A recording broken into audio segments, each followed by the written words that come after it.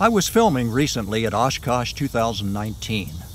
Dennis Carley from You Fly It Light Sport Aircraft said they were building an Aerolite 103 from a kit in a tent next to the ultralight field. Join me in this unique view of the build process. This is Wayne Whitley. I'm a retired computer design engineer, and now I create adventure videos for fun. Come along with me and enjoy this Whitley Videos adventure.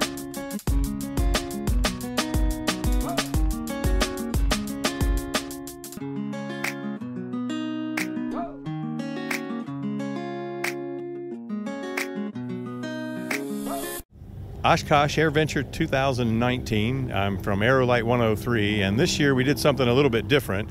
We had our booth here at the uh, show where we always have one or two planes on exhibit and where we field thousands of questions all week long from uh, the folks who are coming through here. But in addition to that, this year, uh, in conjunction with one of our dealer, uh, uh Rick Hayes from Hayes Aero, we brought a 51% kit here. We set it up in the uh, workshop tent by the Red Barn here in the ultralight area, and we assembled that. We started on it uh, Monday morning, and we finished it this morning about a half hour ago.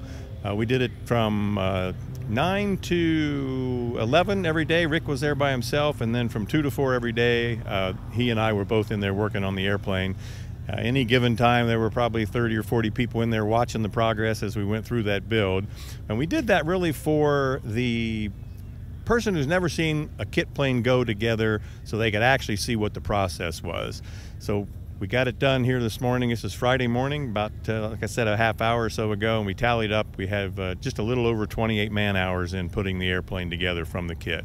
And behind us is what it looks like. We moved it over here to our booth here this morning so everybody could see the finished project. This video only records some of the steps of the Aerolite 103 build and is not intended to be a detailed assembly guide. The build process for the Aerolite 103 is detailed in the documentation included with the kit.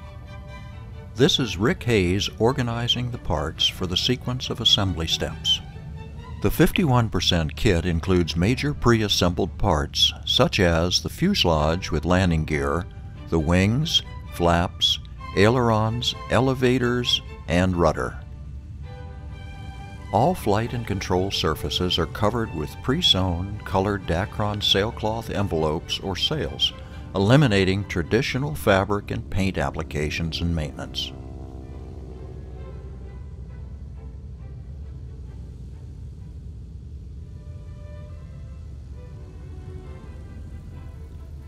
Once the Dacron sails are fitted over the 6061 T6 standard aircraft aluminum tubing, it's time to add the attachment hardware using sealed structural rivets.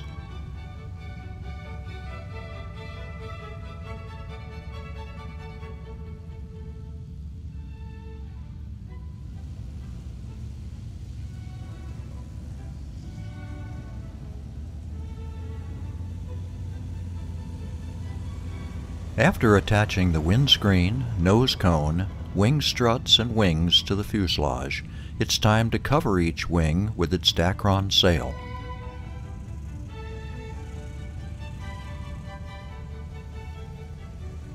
Covering the wings requires careful alignment of the sails and patience to produce the best results.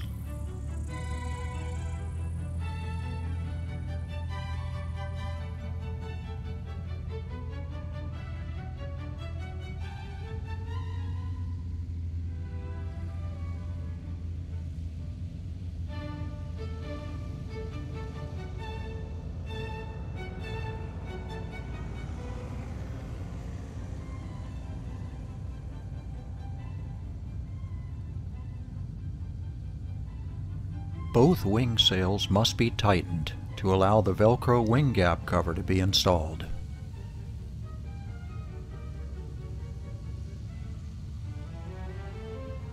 Now it is time for the aluminum battens to be added to each wing.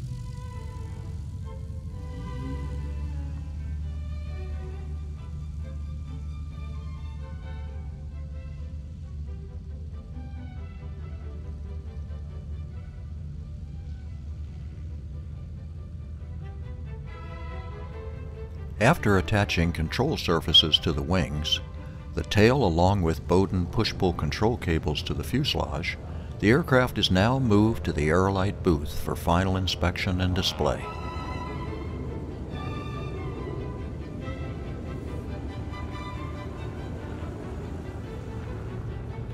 Thank you Dennis Carley, Rick Hayes, and the entire Aerolite 103 team for showing us this live demonstration of an Aerolite 103 build process.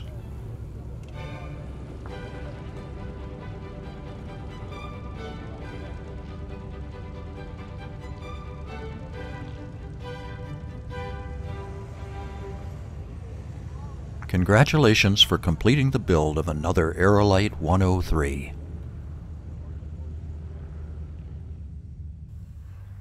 I hope you liked this video. If you did, hit the like button. Subscribe if you haven't and share this video with your friends. As always, I welcome your comments. Until next time, take care. And oh, this is a sage thistle, just in case you wanted to know.